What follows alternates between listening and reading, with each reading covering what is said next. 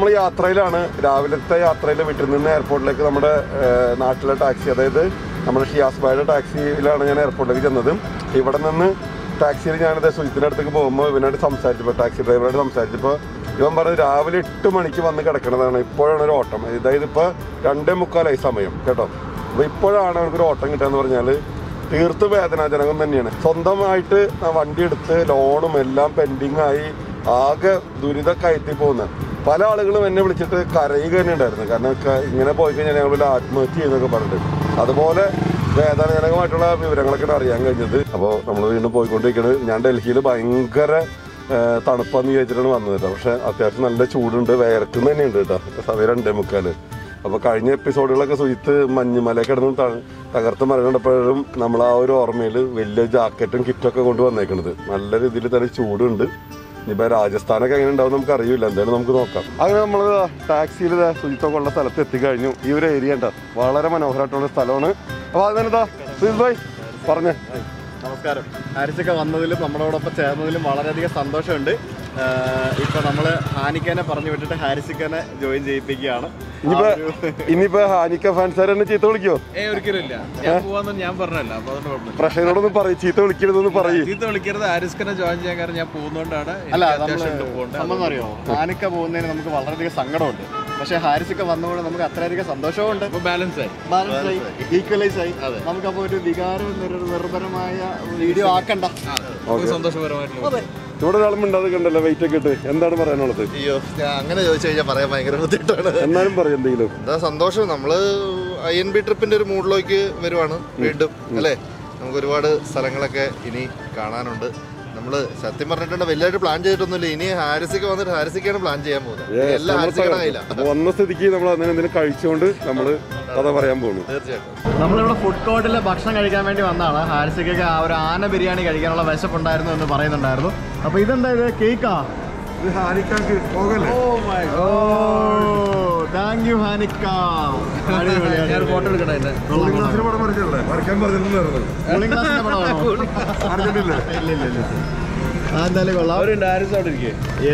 ഇതെന്താണിത് ഇതെന്താണിത് ഓ അത് ശരി അതൊക്കെ ഉണ്ടോ വരൂ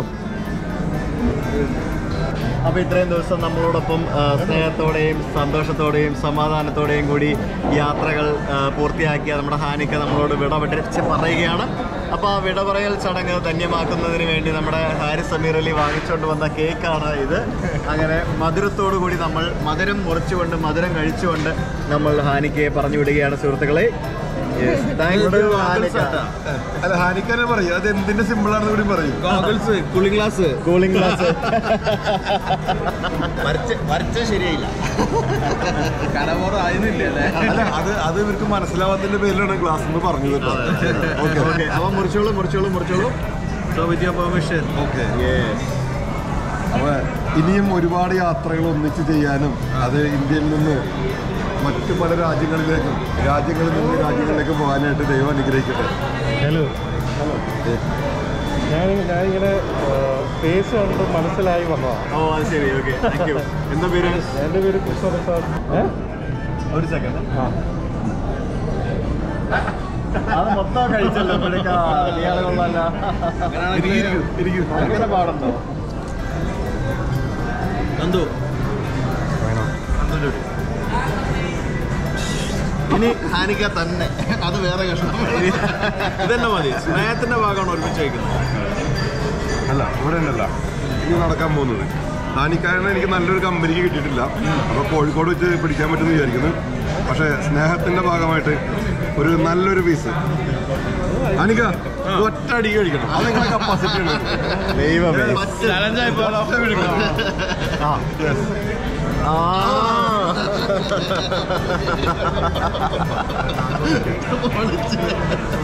പത്ത് പിടിച്ചു. ബിരിയാണി ഓർഡർ ചെയ്തിട്ടുണ്ട്. ഇനി ഞാൻ എങ്ങനെ കഴിക്കും? ഇനി ഇംഗ്ലീഷ് പറ ഇനി ഇംഗ്ലീഷ്.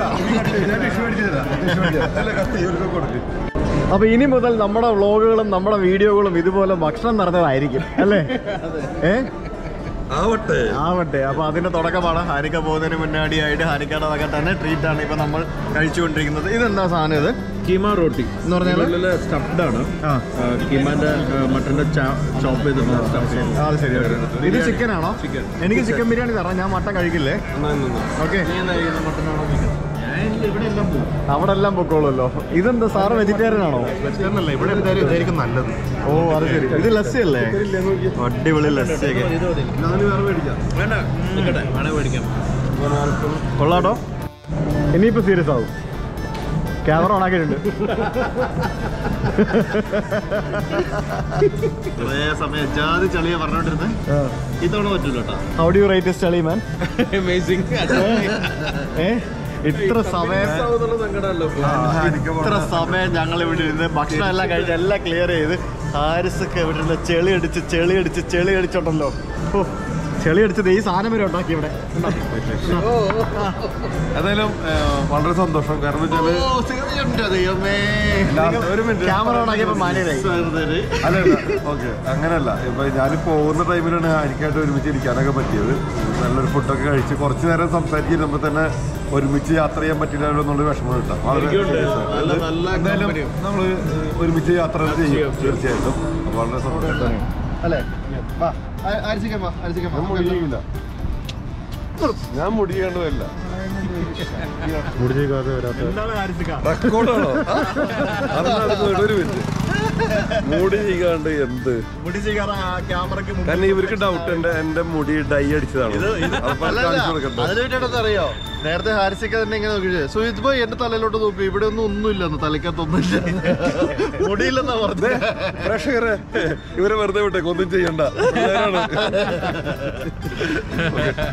ക്യാമറയുടെ മുമ്പിൽ ഡീസന്റ് ചമഞ്ഞ് ക്യാമറയുടെ പുറകെ ചളിയടിക്കുന്ന ഈ പരിപാടി അവസാനിപ്പിക്കണം ഇതാണ് അപ്പൊ ഹാനിക്ക പോവുകയാണ്. അപ്പൊ സുജിത്തിനെ മില്ലെ നമ്മൾ വീണ്ടും നമ്മളിപ്പോഴേ കണ്ടിട്ടുള്ളെങ്കിലും ഒരു ഭക്ഷണത്തിന്റെ വേല എനിക്ക് മനസ്സിലായി നല്ലൊരു കമ്പനി മിസ്സാകുമ്പോന്ന് പക്ഷെ അതുകൊണ്ട് നമുക്ക് മേക്കപ്പ് ചെയ്യാം. നമ്മൾ കോഴിക്കോട് വരുന്നുണ്ട്. അതെ. എന്താണത്? ആ ഒന്ന് പറഞ്ഞു നിങ്ങൾ തന്നെ പറഞ്ഞു. അല്ല എന്റെ ചാനലുണ്ട് പ്ലൈവിൽ മലയാളം. അത് സബ്സ്ക്രൈബ് ചെയ്യണമെന്നാണ് ഇവർ പറഞ്ഞിട്ടുള്ളത്. അത് ചെയ്യുക. ഇവരല്ല നമ്മളെല്ലാവരും. പറയുന്നു. അപ്പൊ- അപ്പോൾ ലിങ്ക് ഡിസ്ക്രിപ്ഷനിൽ കൊടുക്കുന്നുണ്ട്. അപ്പോൾ വാഹന സംബന്ധമായിട്ടുള്ള കാര്യങ്ങളാണ്. ഇതിനോടകം നിങ്ങൾ ടെക് ട്രാവലിറ്റിൽ കുറേ ദിവസങ്ങളായിട്ട് ഹാനിക്കാരെ കണ്ടുകൊണ്ടിരിക്കുന്നു. കാണാത്തവരിലേക്കാണ് നമ്മൾ പറയുന്നത്. അപ്പോൾ എല്ലാവരും ഞങ്ങളെപ്പോലെ വീഡിയോ ചെയ്യുന്ന എല്ലാവരെയും എന്ത് ചെയ്യണം? സബ്സ്ക്രൈബ് ചെയ്യണം സപ്പോർട്ട് ചെയ്യണം. അപ്പോൾ വീണ്ടും കാണാം. ഭായ് പറയൂ. നമ്മൾ ഇനിയിപ്പോൾ ഇവിടെ നിന്ന് ജയ്പൂർ പോവാണ് ഉം. ജയ്പൂരിൽ പോയിട്ട് ജയ്പൂർ പോകുന്നത് വെച്ചാൽ നമ്മൾ രാജസ്ഥാനിൽ പോയിട്ട് നമ്മുടെ എന്റെ വേറെ അവിടെ കൊണ്ട് മരുഭൂമിയിൽ ഓടിക്കണം എന്നുള്ളതാണ് എന്നിന്റെ അന്ത്യാഭിലാഷം. ഓക്കെ. തിരുത്തുണ്ട്. എമിലിന്റെ ആഗ്രഹം. സോറി അങ്ങനെ മാറ്റി പറഞ്ഞിരിക്കുകയാണ്. അപ്പോ പോട്ടെ സാരമില്ല. അപ്പോ ചെറിയൊരു ഗ്രാമർ മിസ്റ്റേക്ക് ആ, അതെ. അപ്പോൾ അത് വേണ്ടിയാണ് നമ്മൾ പോകുന്നത് രാജസ്ഥാനിലേക്ക്. പിന്നെ ഹാരിസിക്ക ട്രാവൽ ഏജന്റ് ആണല്ലോ. എല്ലാം പ്ലാൻ ചെയ്തിട്ടുണ്ട്. നിങ്ങൾ വന്നാൽ മതി എന്ന് പറഞ്ഞിട്ടുണ്ട് അപ്പൊ അപ്പോൾ ഹാരിസിക്ക കൂടെ ഉള്ളപ്പോൾ പിന്നെ നമ്മൾ പിന്നെ വേറെ എന്തെങ്കിലും നോക്കേണ്ട ആവശ്യമുണ്ടോ? എന്താണ് പറയാനുള്ളത്? ഇനിയിപ്പോ അങ്ങോട്ട് യാത്ര തുടങ്ങുകയാണല്ലോ. നമുക്ക് തകർക്കാം. ഇത്രയും ദിവസം കഴിഞ്ഞ പ്രാവശ്യം ഞാൻ ജോയിൻ ചെയ്തപ്പോൾ തുടങ്ങി കേൾക്കുന്നത് മഞ്ഞുമല മഞ്ഞുമല എന്ന് പറഞ്ഞെങ്കിൽ ഇത്തവണ മരുഭൂമി മരുഭൂമി നട്ടാ എന്തായാലും ഒരു ഡിഫറെന്റ് എക്സ്പീരിയൻസ് തന്നെ ആയിരിക്കും വരും ദിവസങ്ങൾ അതിന്റെ കാഴ്ചകളൊക്കെ കാണാം. അപ്പോൾ ഹാനിക്ക പോകണ ചെറിയൊരു വിഷമത്തിൽ നിൽക്കുകയാണ്. കാര്യം ചിരിയും കളിയൊക്കെ ഉണ്ടെങ്കിലും ഉള്ളിന്റെ ഉള്ളിൽ എല്ലാവരും ഉള്ളിലും ചെറിയൊരു വേദന കോറിയിട്ടിട്ടാണ് ഹാനിക്ക പോണത്. നമ്മൾ കോഴിക്കോടേക്ക് വരുന്നതായിരിക്കും. ഹാനിക്കാട്ട് ഫ്രണ്ടും കൂടി ഉണ്ട് കേട്ടോ. വരും വരും വരും വരും വരും. ആ ഒന്ന് പരിചയപ്പെടുത്തി നമ്മുടെ പ്രേക്ഷകരൊന്ന് ഹായ്, അരവിന്ദ്. നന്ദു എല്ലാവരും വിളിക്കും. ഇക്കന്റെ പാർട്ട്ണറാണ് നമ്മുടെ നാട്ടുകാരനാണ് ഇരിഞ്ഞാലക്കുട ഞാൻ എന്നെ തന്നെ വിളിക്കുന്നത് അരവിന്ദ് എന്നാണ്. പക്ഷെ ഇവരൊക്കെ വിളിക്കുന്നത് നന്ദു എന്നാണ്.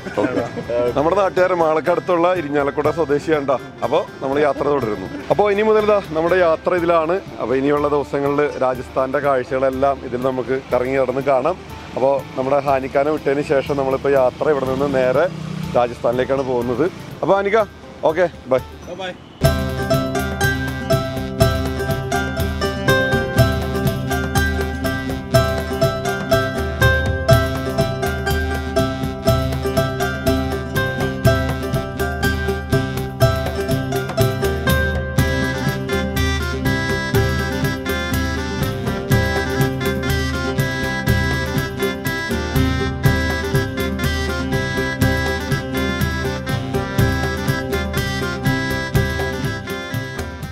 മണിക്കൂറുകൾ നീണ്ട യാത്രകൾക്ക് ശേഷം ഞങ്ങൾ ജയ്പൂരിലെത്തി. ജയ്പൂരിലെ ഹിൽട്ടൺ ഹോട്ടലിലാണ് ഇന്ന് താമസം. അപ്പോൾ വരുന്ന വഴിയിലൊന്നും കാര്യമായിട്ടൊന്നും ഷൂട്ട് ചെയ്തില്ല. മറ്റൊന്നുമല്ല. ഇന്നിപ്പോൾ ഫസ്റ്റ് ഡേ ആണ് ഞാൻ ജോയിൻ ചെയ്തിട്ട്. അപ്പോൾ കുറേ വിശേഷങ്ങളൊക്കെ പറയാനുണ്ടായിരുന്നു. അപ്പോൾ ഓരോ വിശേഷങ്ങളും മറ്റു കാര്യങ്ങളൊക്കെ ഇങ്ങനെ ചർച്ച ചെയ്ത് ഡ്രൈവ് ചെയ്ത് ഇവിടെ എത്തി. വഴിയിലുടനീളം ഭയങ്കര ഹെവി ട്രാഫിക് ആയിരുന്നു. പക്ഷേ ഇന്ന് ദീപാവലിയാണ്. അപ്പോൾ നമ്മളിത് ഷൂട്ട് ചെയ്യുന്ന ദിവസം ദീപാവലി ദിവസം അതിനടുത്ത് തന്നെ വഴി നീളെ ഭയങ്കര ലൈറ്റ് അറേഞ്ച്മെന്റ്സും മറ്റൊക്കെ ആയിരുന്നു. സോ സുജിത് ഭായ് പറയാം. അപ്പോൾ നമ്മൾ നമുക്ക് റൂമിൽ പോയിട്ട് ബാക്കി പറയാം. റൂമിൽ പോയിട്ട് ബാക്കി പറയാം. ഡ്രൈവിങ്ങിന്റെ കാഴ്ചകളൊന്നും എടുത്തില്ല. കാരണം വരും ദിവസങ്ങളിലൊക്കെ നല്ല അടിപൊളി കാഴ്ചകൾ വരാനുണ്ട്. അപ്പൊ റൂമിൽ പോയിട്ട് ഹിൽട്ടന്റെ കാഴ്ചകൾ കാണണ്ടേ? ഒരാളും മിണ്ടാതെ നിൽക്കുന്നുണ്ട്. എന്താണ് പ്രശ്നം?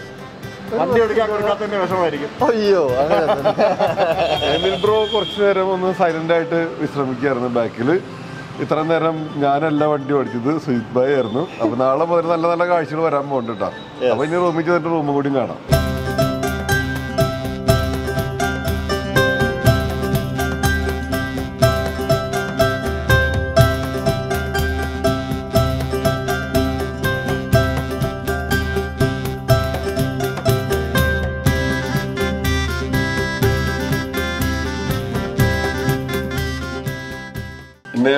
നേപ്പാളിലെ ഹോട്ടൽ ഓർമ്മ ഇന്ത്യൻ കറൻസിയിലല്ല നേപ്പാൾ കറൻസിയിലാണ് കാൽക്കുലേറ്റ് ചെയ്തത്. നല്ല റൂമ് നമ്മൾ കക്കൂസ് റിവ്യൂ ചെയ്യുന്നവരാണല്ലോ ഹാരിസ് അല്ലേ. അല്ലേ? അപ്പൊ നമുക്ക് അതും കൂടെ കാണിക്കാം. ഓക്കെ. സുജിത് ഭക്തനുണ്ട് ആദ്യം കക്കൂസ് കാണിച്ചു നല്ല വിശാലമായ ബാത്റൂം. ബാത്തിന്റെ കൊണ്ട് പക്ഷെ ഹാരിസിക്ക് ഇതിനകത്ത് കിടക്കാൻ പറ്റുമെന്ന് തോന്നുന്നില്ല. കാരണം വളരെ ചെറിയ ബാത്തിന്റെ അപ്പൊ എനിക്ക് തന്നെ വളരെ കഷ്ടമായിട്ട് ഇതിനകത്ത് കിടക്കാൻ പറ്റുള്ളൂ. ഓക്കെ സാറല്ല ഞാൻ അവിടെ നിന്ന് സൈഡിൽ നിന്ന് കുളിച്ചോളാം ഓക്കെ ഒരു കണ്ടീഷൻ ഉണ്ട്. ആ. കർട്ടൻ പൊക്കി വെച്ചിട്ട് മാത്രം എല്ലാവരും യൂസ് ചെയ്യാൻ പാടില്ല നമുക്ക് ഈ റൂം കിട്ടിയിരിക്കുന്നത് മൂവായിരത്തി അറുന്നൂറ് രൂപയ്ക്കാണ് മൂന്ന് പേർക്ക് താമസം വിത്ത് ബ്രേക്ക്ഫാസ്റ്റ്. നല്ല നല്ല റേറ്റ് ആണ്. അതൊരു അത് നല്ല ഇവിടുത്തെ ബ്രേക്ക്ഫാസ്റ്റിന് തന്നെ അധികം പൈസ ഉണ്ട്. പക്ഷെ ഇപ്പോഴത്തെ അപ്പൊ നമ്മുടെ നാടിന്റെ ഒരു അവസ്ഥയും കൂടി നോക്കണം. അത്ര പോലും ഗസ്റ്റ് ഇല്ല മെയിന്റെയിൻ ചെയ്യാൻ നമുക്ക് ഏറ്റവും കൂടുതൽ അഡ്വാന്റേജ് കിട്ടിയത് ഈ ഒരു കാര്യത്തിലാണ്. താമസമൊക്കെ വളരെ അഫോർഡബിൾ ആയിട്ട്. അതുകൊണ്ടാണ് നമ്മളെല്ലാം ഫൈവ് സ്റ്റാർ അതെ. പിന്നെ കുറച്ചും കൂടെ സുരക്ഷിതമായിട്ട് നമുക്ക് ഫീൽ ചെയ്യും. റെസ്റ്റോറന്റിലൊക്കെ വന്നു കഴിയുമ്പോഴത്തേക്കിനും പല പല കാര്യങ്ങളൊക്കെ മറ്റുമൊക്കെ ആയിട്ട്. ഈ ഫോർഡ് എൻഡേവറിലൊക്കെ യാത്ര ചെയ്യുമ്പോൾ മിനിമം ഒരു ഫൈവ് സ്റ്റാറിലൊക്കെ താമസിക്കണം. കേട്ടോ? ബ്രോ വന്നില്ലേ റൂമിന്റെ കാഴ്ചകൾ. എനിക്ക്. വേറൊരു കാര്യം പറയാനുള്ളത്. ഞാൻ കണ്ടിടത്തോളം വെച്ചിട്ട് ഏറ്റവും നല്ല കേട്ടിടത്തോളം കണ്ടിട്ടില്ല കാണാൻ പോകുന്നേ ഉള്ളൂ. കേട്ടിടത്തോളം വെച്ചിട്ട് ഏറ്റവും നല്ല ഹോട്ടലുകൾ ഉള്ളത് രാജസ്ഥാനിലാണ്. പേര് പോലെ തന്നെ ഇഷ്ടംപോലെ കൊട്ടാരങ്ങളും മറ്റുമൊക്കെ ഉള്ളൊരു സ്ഥലമാണല്ലോ. അപ്പോൾ രാജസ്ഥാനിലാണ് ഇപ്പം ഉദയ്പൂർ പോലെയുള്ള സ്ഥലങ്ങളിലാണ് ഇന്ത്യയിലെ തന്നെ ഏറ്റവും എക്സ്പെൻസീവ് ആയിട്ടുള്ള ഹോട്ടലുകളുള്ളതെന്ന് പറയാം. ഉദയ്പൂരിലൊക്കെ പോയി കഴിഞ്ഞാൽ ലക്ഷക്കണക്കിന് രൂപയുടെ ഇപ്പോൾ ഒന്നര ലക്ഷം രണ്ട് ലക്ഷം രൂപയുടെ ഹോട്ടൽ മുറികൾ വരെ നമുക്ക് കാണാൻ സാധിക്കും. ഒരുമാതിരിപ്പെട്ട എല്ലാ ബ്രാൻഡുകളുടെയും ഒരു ഹോട്ടൽ ശൃംഖല രാജസ്ഥാന്റെ പല നഗരങ്ങളിലും ഉണ്ട്. രാജസ്ഥാന്റെ കാഴ്ചകളൊക്കെ ടെക് ട്രാവലേറ്റ് ചാനലിലും ഹാരി എന്ന ചാനലിലൊക്കെ നമ്മൾ അടുത്ത ദിവസങ്ങളിൽ കാണാൻ പോവുകയാണ്. അല്ലേ? ഉദയ്പൂരിൽ എന്തൊക്കെ നടത്തുന്ന ഉദയ്പൂരിലല്ല ജയ്സൽമീറിൽ എന്തൊക്കെ നടത്താൻ കാത്തിരുന്ന് കണ്ണ. കാത്തിരുന്ന് കണ്ടാ മതി. ജയ്സൽമീറിൽ നമുക്ക് ഡെസേർട്ട് ഓടിക്കാൻ ആഗ്രഹം. അതെ. പണ്ട് ഇത് നമ്മൾ ദുബായിലൊക്കെ പോയപ്പോ അവർ നമ്മളെ കൊണ്ടുപോകാൻ പറഞ്ഞത് ആ അന്നേരം നമുക്ക് അവിടെ ലൈസൻസ് ഇല്ലായിരുന്നു. ലൈസൻസ് ഇല്ല. അത് ഇവിടെ നടക്കുമോ എന്ന് നമുക്ക് ട്രൈ ചെയ്ത് നോക്കാം. വലിയ അഭ്യാസത്തിനൊന്നും ഇല്ല എന്നാലും ഒരു ഡെസേർട്ട് ചെറിയ ജമ്പ് അത്ര മതി. ഡെസേർട്ടിലൂടെ വണ്ടി ഓടിക്കുന്ന എക്സ്പീരിയൻസ് ഒന്ന് നമുക്കൊന്ന് അറിയണമെന്നുണ്ട്. സോ നമ്മൾ ട്രൈ യെസ് അപ്പോൾ ഇതാണ് നമ്മളുടെ റൂം ഇവിടെ രണ്ട് വലിയ ബെഡ് ഉണ്ട്. ഇവിടെ ഒരു ചെറിയ ബെഡ് ഇട്ട് എക്സ്ട്രാ ബെഡ് ഒക്കെ ഇട്ട് സെറ്റ് ആക്കി വെച്ചിരിക്കുകയാണ്.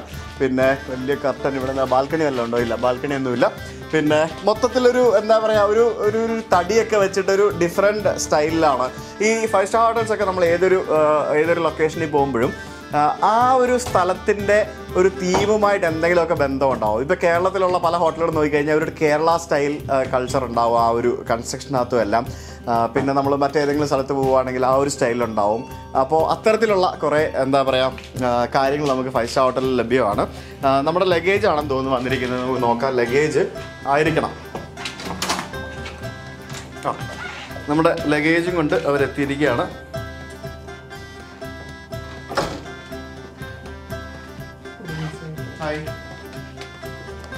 അപ്പോൾ ഹിൽട്ടൺ ഹോട്ടലിലെ റൂമൊക്കെ കണ്ടല്ലോ. ബെസ്റ്റ് ഡീലായിട്ട് കിട്ടി. വളരെ ചുരുങ്ങിയ ചെലവിൽ എത്ര കിട്ടി നമുക്ക്? മൂവായിരത്തി മൂവായിരത്തി അറുന്നൂറിന്. അപ്പൊ ഇതാണ് റൂം അപ്പൊ ഇനി മുതൽ എന്നെ കളിയാക്കണതാണ് കേട്ടോ. സാരമില്ല. ഇനി- കളിയാക്കണം എന്ന് പറഞ്ഞിട്ട് വേണം എന്നെ ചീത്ത ഇല്ല വിളിക്കാൻ. ഇല്ല ഇല്ല. ഇതൊക്കെ ഒരു സന്തോഷമല്ലേ? നമ്മുടെ. അപ്പൊ വളരെ സന്തോഷമുള്ള കാരണം കഴിഞ്ഞ ഒരു വർഷത്തെ വിഷമങ്ങളൊക്കെയാണ് ഇപ്പൊ തീർക്കാൻ പോകുന്നത്.